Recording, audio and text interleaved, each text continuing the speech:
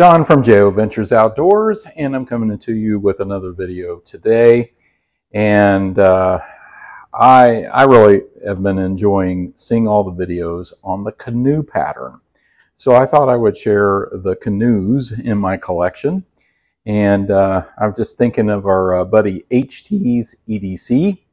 Uh, excellent channel. He's got the canoe crew, and uh, that is just an awesome uh, idea, and we're seeing all kinds of great videos on everybody's canoes. Um, and the canoe pattern really is an awesome pattern, and I haven't really carried it very much, um, but I do have a couple, and I want to share those with you. So just a shout out to HT and his channel. Really enjoyed it. He's right at just over, I mean, well over 800, I think, uh, 850-ish.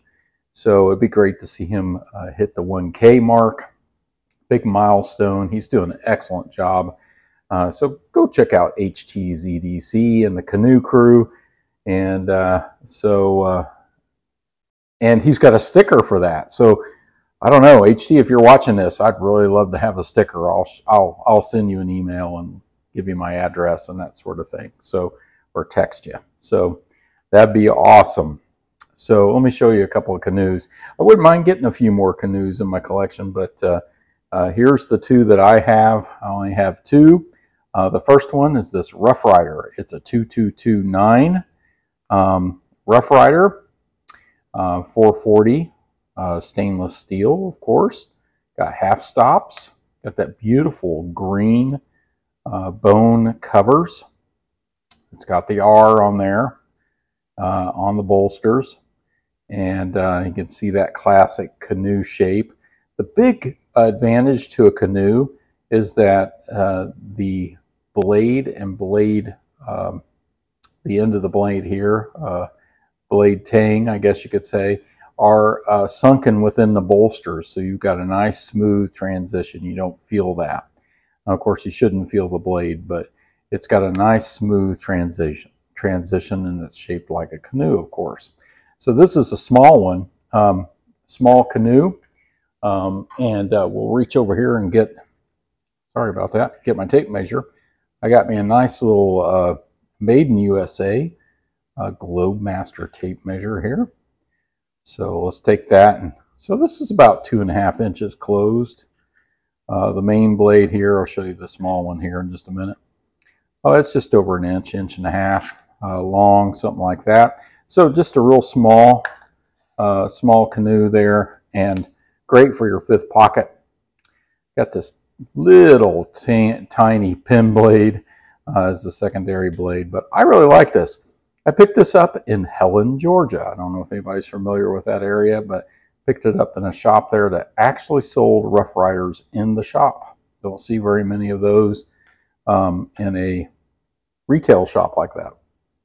So I thought that was really cool. The next one was a gift from my mother, um, one Chris, well, one birthday uh, several years ago. Um, she has since passed away. Uh, but this is the buck, 389.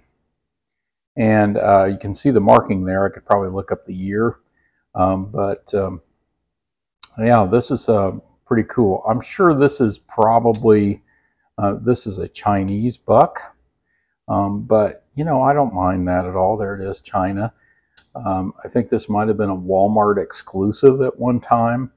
But I love the bone, uh, the bone covers on this, the covers on this and the colors there and just the differences between the two. There you've got that classic canoe shape. The spear point, main spear point blade. This is a very sharp knife, by the way, um, and got great action.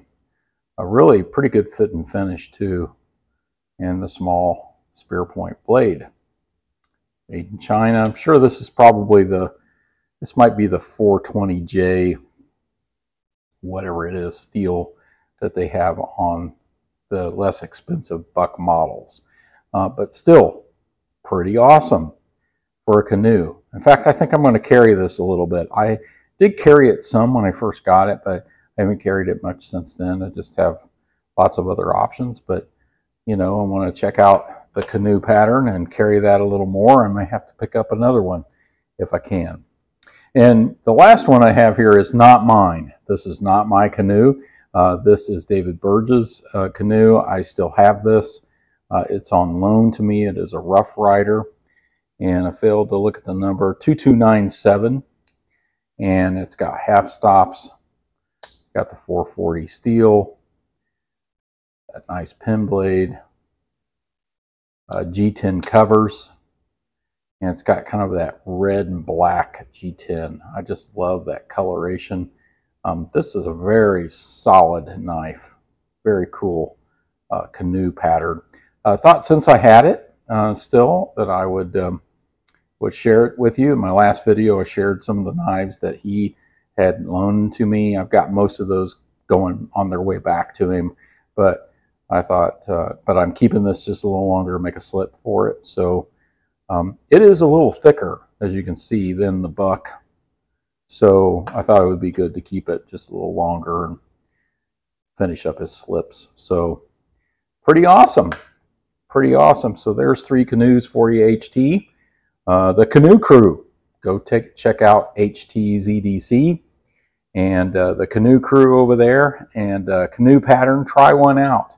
Uh, they are an awesome pattern to carry, especially as a secondary knife, but you know, if you prefer a smaller knife and uh, maybe it could be your primary. So excellent. So uh, thank you all for watching.